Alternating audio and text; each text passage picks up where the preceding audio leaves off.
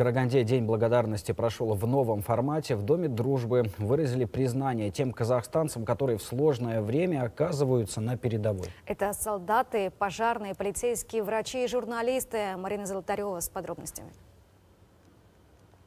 Первая благодарность от карагандинцев поступила родным Мадияра Кайсарова, Айбата Анманова и Адиля Нуркенова. Солдаты-срочники и сотрудники Комитета нацбезопасности погибли при исполнении служебного долга во время январских событий. Родителям героев преподнесли портреты сыновей, написанные казахстанским художником Мадиханом Калмахановым.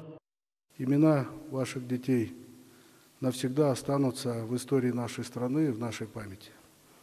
Мы выражаем сегодня огромную благодарность врачам, медсестрам, санитарам, водителям скорой помощи. Выражаю благодарность нашим меценатам. Особо хочется отметить труд горняков, металлургов, фермеров, предпринимателей, работников бюджетной сферы. Мы вместе преодолеем любые трудности.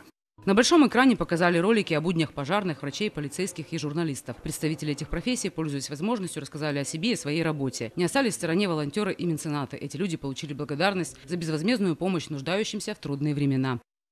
Праздник, который собой несет очень важный посыл, опираясь на историческое прошлое, когда наши отцы и матеря, помогая друг другу, в трудное время выживали. А сегодня этот праздник с каждым годом, как мы уже видим, наполняется новым смыслом. С каждым годом этот праздник действительно приобретает для казахстанцев все больше значимости и смысловых граней. Но особый смысл Дня благодарности остается прежним. Это взаимопомощь и единство народа. Марина Золотарева, Сайла Выгликов, Караганда. Итоги дня.